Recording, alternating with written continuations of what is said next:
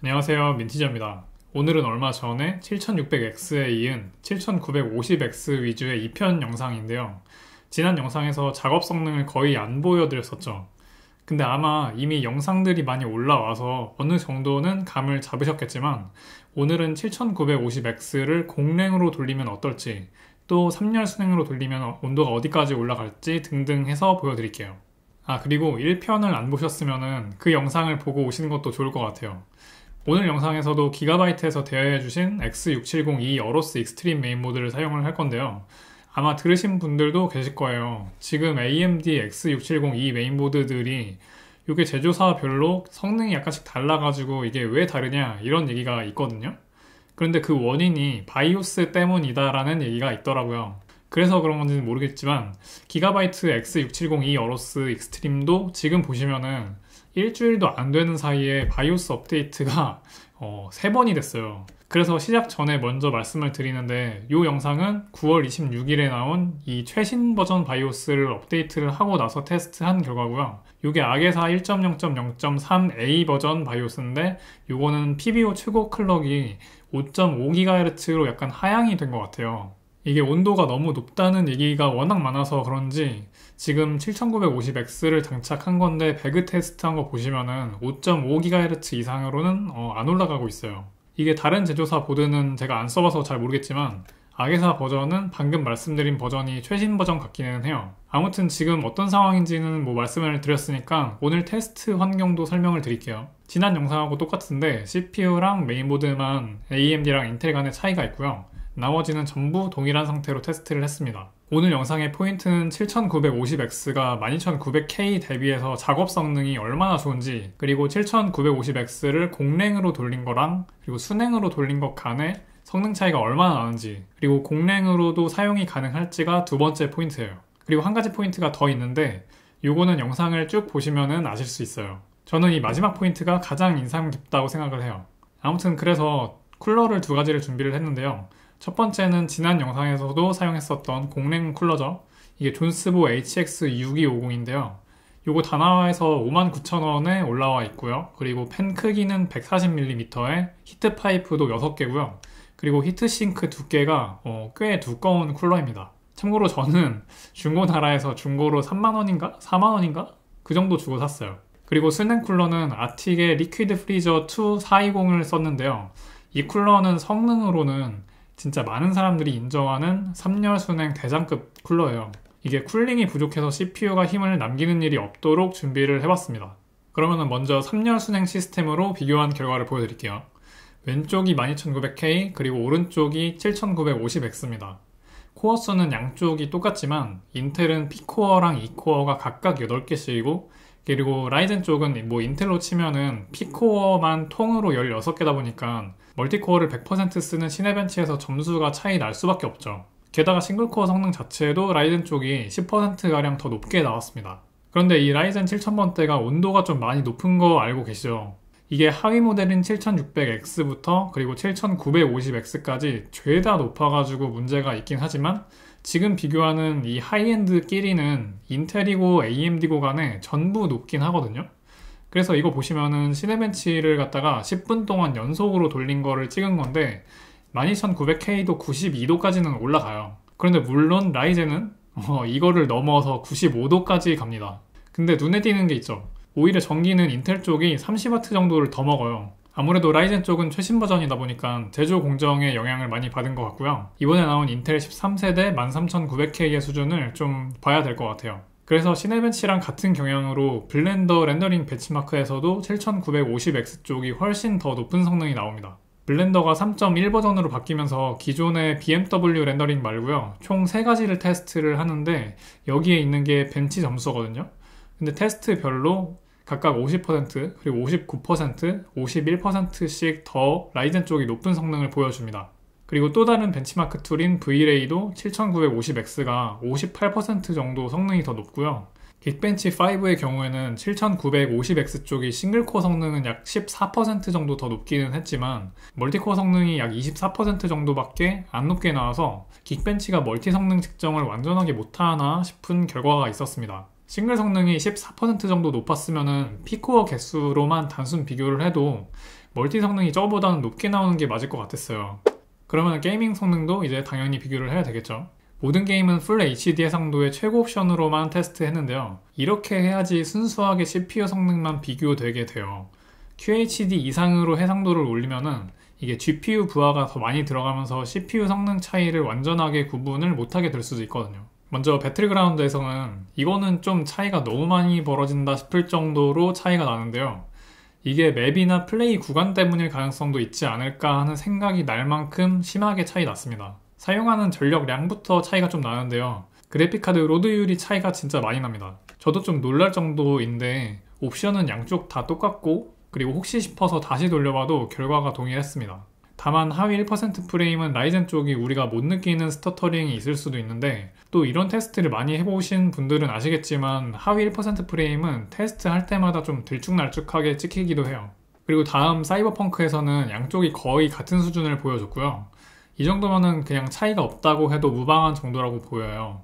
7600X는 12900K를 못 넘었었는데 7950X는 동일한 수준이에요. 다음에 Watch Dogs Legion에서는 12900K가 약간 더 높다고 보는 게 맞을 것 같아요. 평균 프레임이나 하위 1% 프레임 모두 아주 약간이나마 더 높습니다. 그리고 다음 Forza Horizon 5에서는 완전히 똑같다고 봐도 될 것 같아요. 개인적으로 Forza는 CPU의 영향을 잘 안 받는 게임 같아요. 그래서 CPU 성능을 측정하기보다는 GPU를 측정할 때 쓰는 게 좋을 것 같습니다. 그리고 다음은 Shadow of the Tomb Raider인데요. 이거는 7950X가 이겼다고 보는 게 맞아 보여요. 평균 프레임에서 약 13프레임 정도 더 높거든요. 근데 이것도 아까 배그랑 같은 경향이 보이는 게 하위 1% 프레임이 조금 더 떨어져요. 이 정도면은 20% 정도나 떨어지는 건데 이게 제 테스트에서만 이랬을 가능성도 있는 게 다른 유튜버들 벤치 결과를 보면은 또 이런 것 같지도 않더라고요. 그래서 테스트 환경에 따라서 차이가 있는 것일 수도 있다고 보입니다. 추가적인 바이오스 업데이트를 기다려 봐야 될 것 같아요. 그래서 게임 성능을 전체적으로 비교해보면은 이렇게 차이가 있었고요.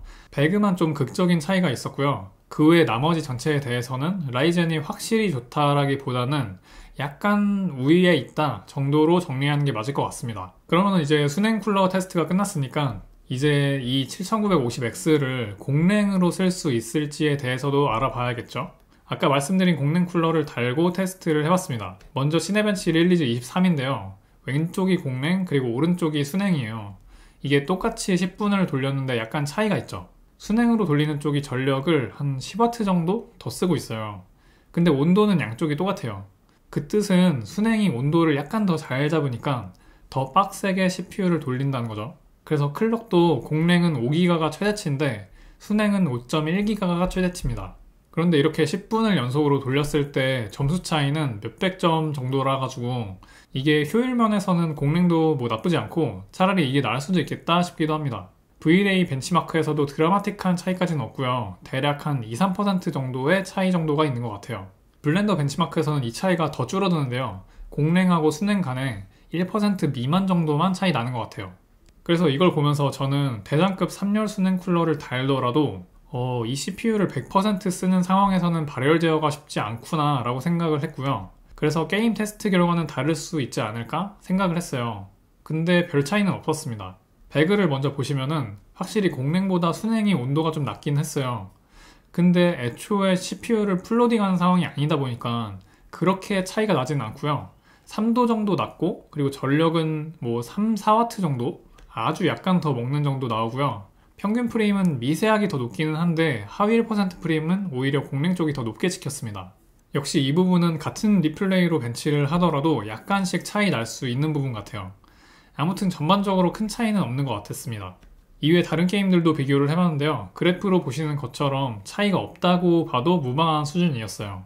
그런데 사실 이 부분에서 약간 찜찜한 게 남아있죠. 오늘 사용한 공랭 쿨러가 감당 가능한 TDP가 250W짜리긴 하지만 아무리 그래도 3열 수랭 대장급이랑 비교를 해서 이렇게 온도 차이가 별로 안 날 수가 있는 건가 하는 생각이 들었거든요. 근데 이 부분에서 영상 초반에 말씀드린 세 번째 포인트가 있습니다. 이 7950X가 undervolting headroom이 엄청 크더라고요. 이번 최신 바이오스에서는 7950X all-core boost clock이 이렇게 보시는 것처럼 5.1GHz였는데요. 아까 보신 것처럼 공랭 쿨러로 Cinebench를 10분 정도 돌리면은 온도 때문에 초반에는 5.1기가로 동작을 하다가 나중에는 5기가로 제한이 됐었거든요. 그래서 아예 처음부터 clock을 5기가로 고정을 시키고 전압을 undervolting 해봤는데요. Ryzen Master라는 프로그램이 있는데 이거 AMD 홈페이지에서 다운받을 수 있는데요. 이 프로그램은 윈도우 상에서 동작 주파수와 CPU 인가 전압을 변경할 수 있는 건데요. clock은 5000MHz, 그러니까 5기가로 맞춰놓고 전압을 계속 바꾸면서 찾아봤어요. 근데 이 Ryzen Master도 아래쪽에 보시면은 적용 후 테스트 버튼이 있어서 간단한 테스트는 할 수 있지만 Cinebench처럼 부하를 크게 주는 것 같지는 않아요.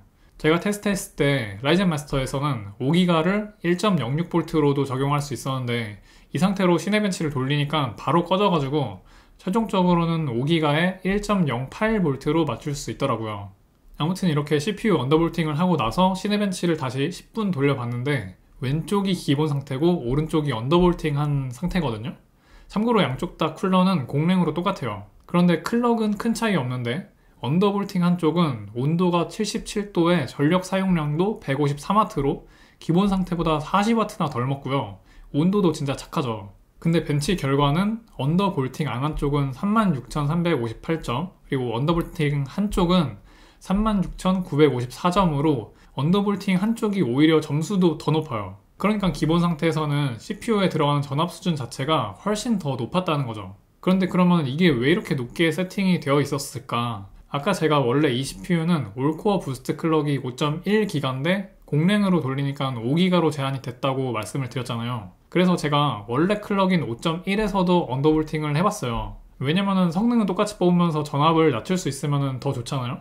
근데 고작 100MHz를 올리는 건데 인가 전압은 갑자기 올라가가지고 1.14V까지 넣어줘야 됐었는데요. 이렇게 되니까 전력 소비량이나 뭐 온도가 기본 상태랑 비교해가지고 아주 큰 차이까지가 없어서 언더볼팅한 효과가 반감이 되더라고요. 그러니까 정리하면은 올코어 클럭이 5기가에서 5.1기가로 넘어갈 때 장벽이 상당히 큰데 그거를 넘기려다 보니까 전압을 많이 줘야 되고 그래서 이렇게 발열이 극적으로 증가를 했구나 그런 생각이 들었습니다. 단지 100MHz 속도를 올리는데 온도는 20도 올라가고 전력 소비량은 40W를 더 쓰는 것보다 차라리 그냥 5기가로 낮춰서 쓰는 게 훨씬 효율적이라고 느껴졌는데요. 그런데 이렇게 클럭을 낮춰서 고정을 시켜 놓으면은 게임에서는 약간의 손해가 있지 않을까 걱정을 했어요. 왜냐면은 단일 코어 부스트는 원래 기본 상태에서는 5.5GHz까지 올라가는데 이거를 5기가로 낮추면은 500MHz가 낮아지는 거거든요. 근데 이거는 차이가 큰 거예요. 그래서 실제로 배그에서는 손실이 나기도 했어요. 왼쪽이 기본 상태 그리고 오른쪽이 undervolting한 상태인데 평균 프레임을 보시면은 15프레임 정도 성능이 낮아졌죠 확실히 이게 차이가 있는데 근데 이거보다 다른 더 놀라운 차이가 있죠 위쪽의 CPU 온도가 무려 20도가 낮고요 사용 전력은 거의 절반만 먹고 있습니다 다시 말씀드리지만 이거 똑같은 공랭 쿨러 장착한 상태고 undervolting만 한 거예요 그래서 제가 아까 이 CPU가 undervolting headroom이 엄청 크다고 말씀을 드린 거예요 그래서 다른 게임도 볼까요? 사이버펑크 같은 경우에는 평균 프레임은 똑같이 나오는데 온도랑 전력은 배그처럼 차이가 나죠. 이 정도면은 뭐 언더볼팅 안 하는 게 이상할 정도라고 보여지는데 툼레이더에서는 평균 프레임이 4프레임 정도? 정말 쥐콩만큼 차이가 나는 대신에 여기서도 온도는 20도 정도가 더 낮고요. 전력도 55W 정도 더 낮게 먹고 있습니다. 와, 이 정도면은 효과가 진짜 엄청 큰데요? 그래서 저는 이 세 번째 포인트가 가장 인상 깊었어요. 제가 테스트한 이 CPU가 좀 더 undervolting 마진이 더 컸을 수도 있는데요. 다른 7950X들도 유사한 경향이 있을 거라고 생각이 들고요. 그리고 제가 undervolting 반대로 해서 overclock을 해보려고도 했는데 올코어가 5.4GHz도 잘 안 들어갔어요. 그러니까 clock headroom이 위쪽으로는 거의 없고 그리고 아래쪽으로는 어, 상당히 널널하다고 보여요. 개인적으로는 오늘 보여드렸던 이런 현상이 7600X에서도 비슷하게 나올까 궁금하기도 했어요. 어, 어쨌든 참고가 되셨으면 좋겠습니다. 그러면 오늘도 봐주셔서 감사하고요. 행복한 하루 되세요.